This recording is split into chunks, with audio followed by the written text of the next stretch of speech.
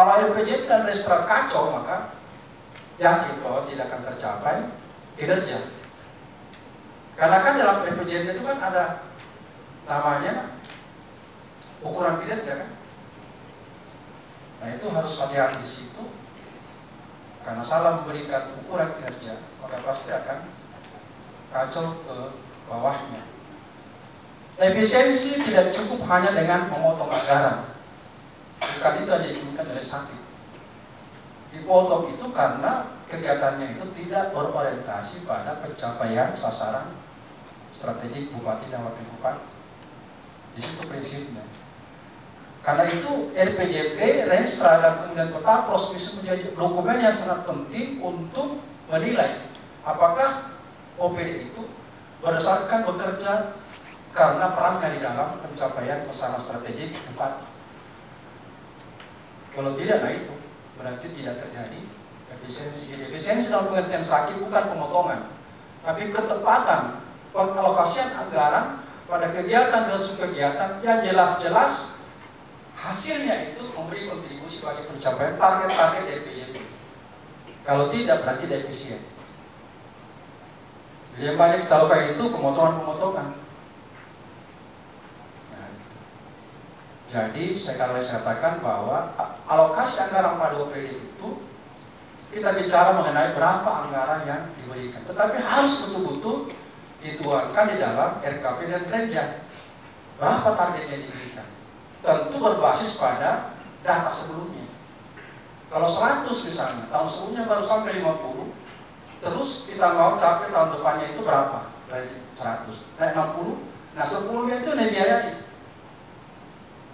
Bukan berlomba-lomba, saya mau capai 100. Nanti kan akan kita gambarkan bahwa menyusun sakit itu bukan pada banyak sumber daya, tetapi ketepatan pengalokasian pada target yang kita inginkan.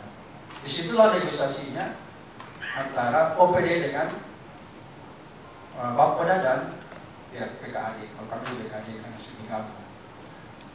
Nah di situlah jadi sehingga kami sekarang menetapkan prinsip dasar PKD sudah paham bahwa anggaran yang diberikan kepada OPD berdasarkan target. Nah tentu targetnya ini tidak muluk-muluk karena kita harus pertanyakan kenapa misalnya dari seharusnya cuma 60 ambil 70 persen? Apa dasarnya? Ada base lainnya. Itu yang dituangkan dalam rencana aksi. Nah kita, kita lihat ya. Manfaat evaluasi sakit memetakan tingkat efektivitas dan efisiensi penggunaan anggaran yang merupakan hasil dari implementasi manajemen kinerja dan anggaran pas kinerja secara sustainable berkelanjutan. Nah, ini hasil analisis evaluasi Kemenpan terhadap perkembangan provinsi dan kabupaten kota mengenai peningkatannya nilai sakit.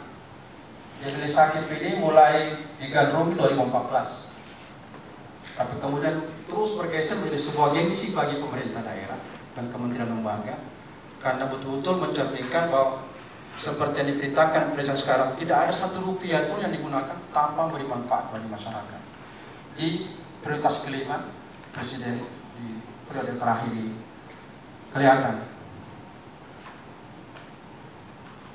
nah jadi kalau misalnya kita lihat bahwa Endre kan sekarang C atau CC Nah, berarti masih ada pada 50 sampai 60 range-nya. Nah, kami di provinsi ini dari 62